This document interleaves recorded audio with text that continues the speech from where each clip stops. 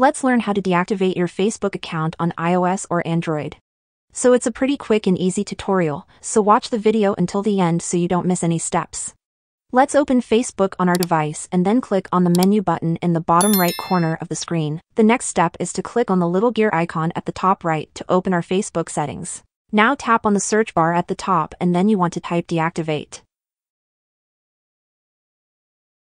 Click on this setting that says Access and Control. Then Deactivation and Deletion. You will have two option right here. You can delete your Facebook account completely, but we are simply going to deactivate it temporarily. And tap on the Continue to Account Deactivation button.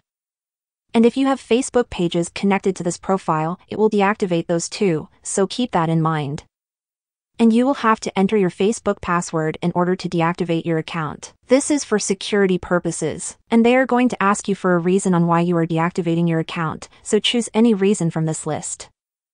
I'm going to say that this is temporary and that I will be back. And scroll down to the bottom of the page.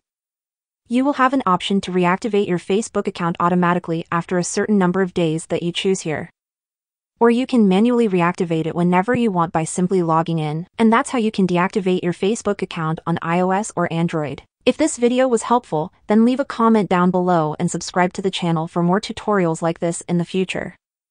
Thank you so much for watching and see you in the next video.